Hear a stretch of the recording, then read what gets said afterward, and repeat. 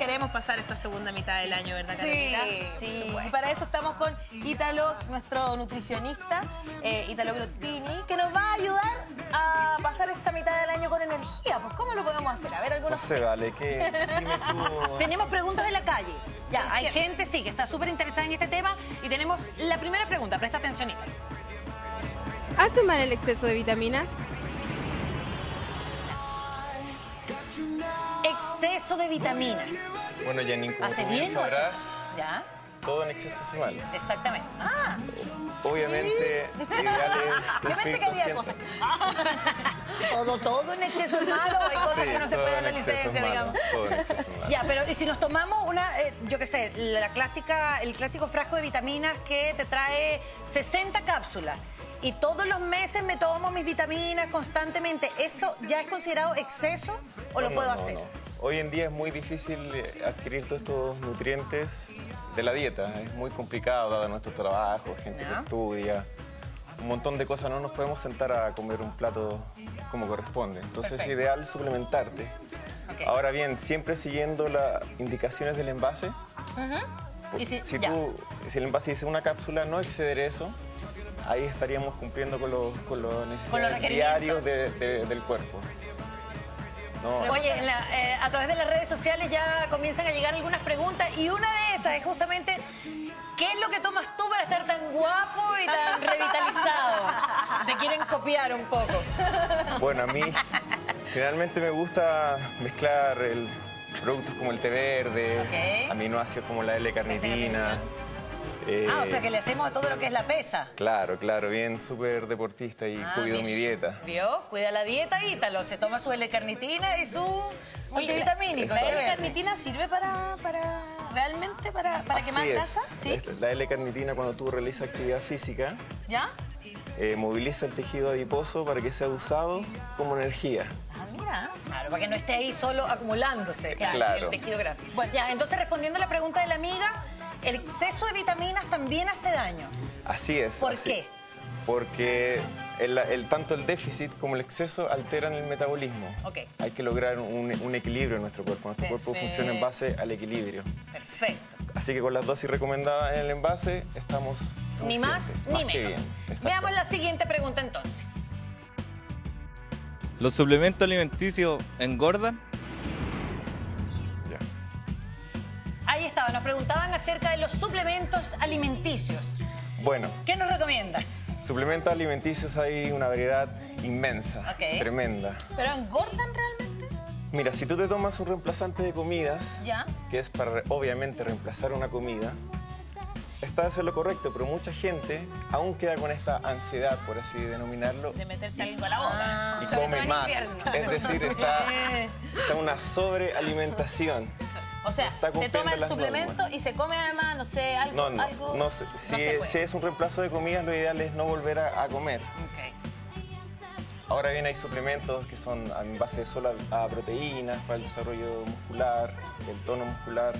Y también hay, hay productos que son para subir de peso, pero vienen bien indicados en el envase. Para subir de peso. Sí. Ese lo queremos bien, Led.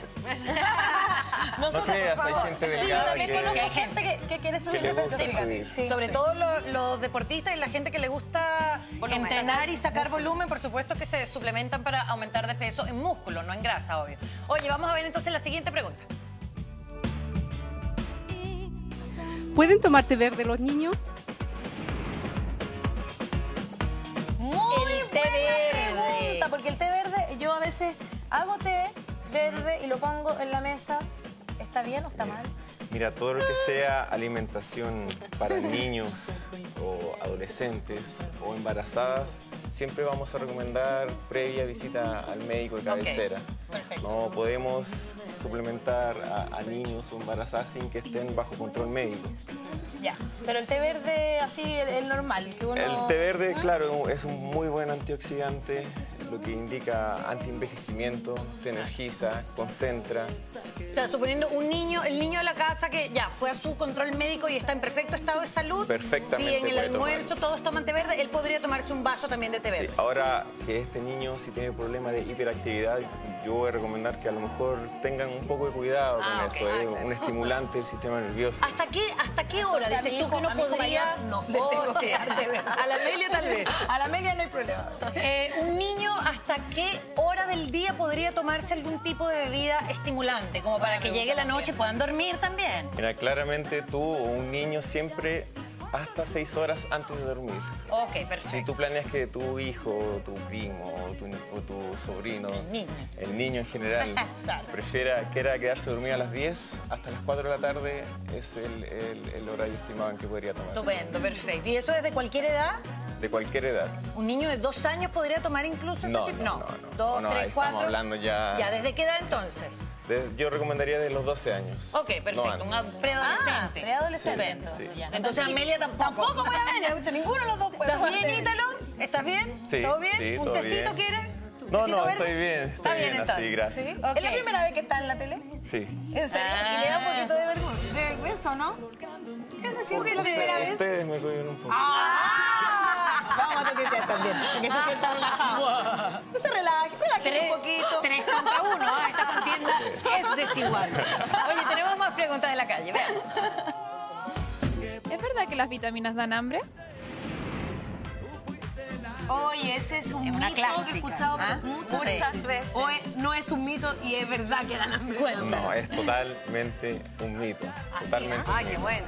Qué Eh, bueno. al, al consumir estos productos tú andas más con más energía, más vigor.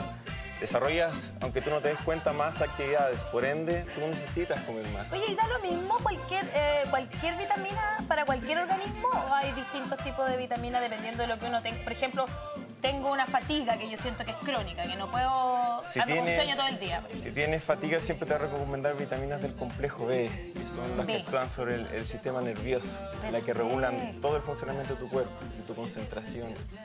¿Y cuál es la que hace bien para la concentración? Tengo, no sé, estoy Todo- empeñado La en memoria, exámenes, sí. tengo que estudiar mucho, estoy haciendo mi tesis. Hay mucha gente en esta época que, o que está haciendo un posgrado de repente. Bueno, en este caso te recomendaría vitaminas del complejo B, pero a la vez que le, le añadas ácidos grasos esenciales como el omega 3, que activa en demasía tu concentración. Salmón.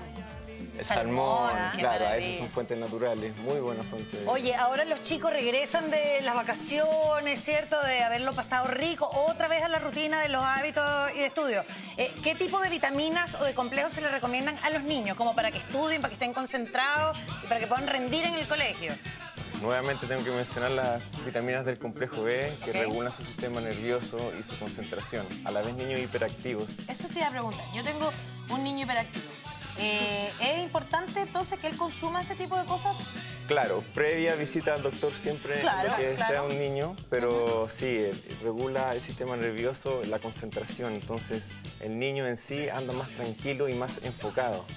Claro, y si el niño disperso. es mañoso para comer y alguna mamá dice, ay, bueno, está bien, no quiso comerse el almuerzo, pero le meto un multivitamínico para que por lo menos tenga algo en el cuerpo, algo de... Claro, es, es una muy buena opción, pero tampoco voy a recomendarte que tú le, le enseñes eso o que el niño se acostumbre. No que se automedique, sino... Claro, claro, jamás Porque la mira, O sea, automedicación. Siempre tiene que buscar que coma su comida. Así es, siempre Aunque su comida. le Estos son complementos a la dieta diaria. son Perfecto. Cuando mi hija era muy chiquita, era, no, muy chiquitita, pero era como todavía dos años por ahí, era muy- bien mala para comer, no comía nada, así como que... Típico, todos pasan Y por estaba esa- súper Sí, baja de peso y ahí me eso. dieron, pero me lo recetó la doctora, un complejo multivitamínico que le daba hambre.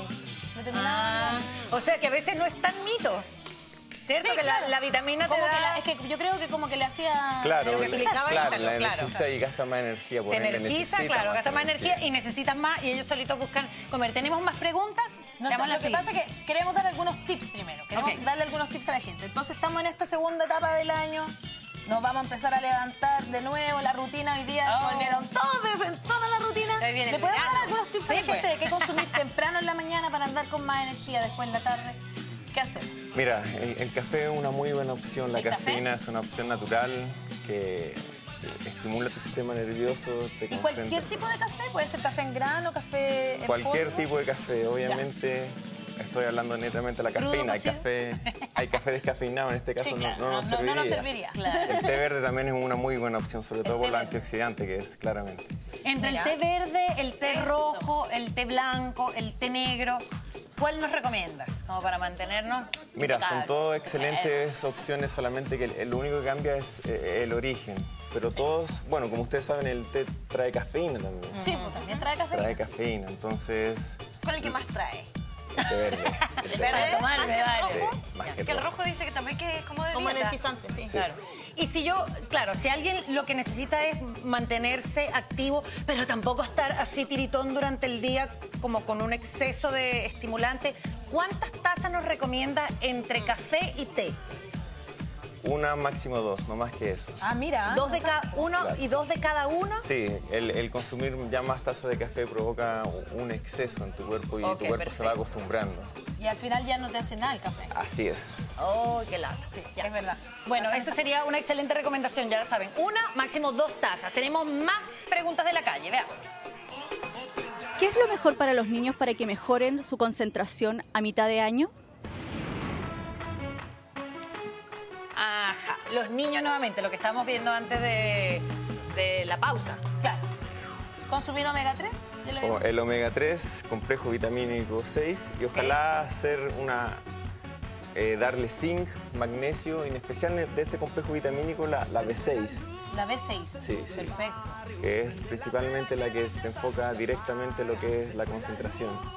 Oye, pero, también- no, pero no generalmente a mitad de año, ideal que se mantenga Sí, todo el magnesio, esas cosas se encuentran en alguna, en alguna comida. Claro, por claro, en, en frutas, verduras, ¿Ya? en un montón de, también en legumbres, en las legumbres, en mira. arroz, ojalá el arroz integral. Ya, perfecto. En todas esas cosas encontramos zinc y magnesio para que le podamos dar a los niños. Tenemos una forma- amplia variedad. De una forma natural. Oye, tenemos más preguntas, pero antes una excelente recomendación. Ya le vamos a decir efectivamente cómo dormir bien. Pero antes no hay nada más rico para tu bebé que lo regalones con juegos, sonrisas, cariños y sobre todo con el nuevo Haggis Active Sec. El pañal de siempre ahora con máxima absorción diferenciada, especialmente diseñado para niños y niñas. Es el único conduo velcro que entrega cuatro puntos de ajuste que evita filtraciones provocadas por la caída del pañal. Así que haz que disfruten cada movimiento con el nuevo Haggis Active Sec, que está aquí con nosotros todos los días en Mujeres Primero. Muchísimas gracias, Haggis, por acompañar. Así es. Oiga, mi querido Ítalo, ya, el estrés, la tensión del trabajo, ¿cierto? Estamos a mitad de año, también se manifiesta en que muchos de nosotros tenemos problemas para dormir. mal. A mí me pasa. Llega la hora de acostarse y uno da vueltas en la cama y después a medianoche te despierta y al día siguiente estás otra vez cansado. ¿Qué productos nos recomienda o qué tipo de nutrientes podríamos eh, comer durante el día para llegar relajaditos en la noche? Bueno, Janine, tengo una excelente opción para ti que es A Déjale. melatonina. Melatonina, Sí, es- perfecto. la melatonina es una hormona que está naturalmente en tu cuerpo y que provoca que tú un- un estado de sueño. Ya. Se libera cuando la luz del sol desaparece y entra en un estado en un lugar oscuro. Perfecto. No pongan esa música que nos vamos a... Ya, la Mucha, mucha gente también la usa cuando viaja y entra en cambios de horario en otros países para re- volver a regular su, Hay, su mucho, sueño. hay muchas personas que les toca viajar por trabajo, por ejemplo, Por y que de ejemplo. repente entonces la melatonina es una súper buena opción para, para regular esos cambios. Pero si la melatonina es una hormona que el cuerpo produce, ¿por qué tenemos que tomarla para poder dormir? Porque a base, a- muchas veces el estrés o problemas en tu dieta puede provocar que esta hormona no, no se libere como corresponde. ¿no? Uy, problemas un en la dieta. como- desequilibrio. ¿Qué tipo de, de- como cuando uno come muy tarde, dices tú, ese tipo de cosas? Claro, cuando tú comes muy tarde, hay, hay- hay- tu estómago está trabajando, por ende hay mucha sangre en tu estómago. Entonces Ah. se provoca una dexo- eh, en la sangre va el oxígeno.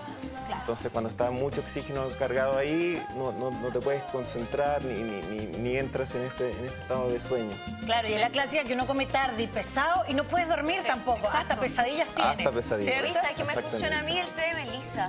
El té de melisa. Sí, de, de, de Real. De, de Real Melissa. Sí, de Real. Comprarla de ahí. una, Claro. ya, santo remedio. Y las hierbitas o la- las infusiones, estas que tienen como camomila, bueno, manzanilla, Es una, es una muy buena ¿También es opción. una buena son, opción? Sí, sí, son sustancias depresoras del sistema nervioso central. Perfecto. ¿Y la melatonina la pueden consumir los niños? Siempre con, con con, cuidado y con- con cuidado y que el, el médico lo, lo- lo hace- así lo disponga. Pero la melatonina es una hormona. Ok. Por ende puede, puede provocar un desequilibrio hormonal en el óptimo desarrollo del niño. Por eso siempre Ah, ya. Que que cuidado. al médico, claramente. Ok, Perfecto. Perfecto. Bueno, una excelente recomendación. Entonces sabemos que Nutratec nos tiene una sorpresa para nuestras televidentes, ¿cierto? Así es, bueno, todos los que hoy día compren un producto porque vieron acá en, en Mujeres Primero van a obtener un 10% de descuento en el producto que, que decidan adquirir. Cualquier producto Cualquier con producto 10% de descuento si usted dice que vio Mujeres Primero y va, por supuesto, de parte de nosotros. Te queremos agradecer. Ítalo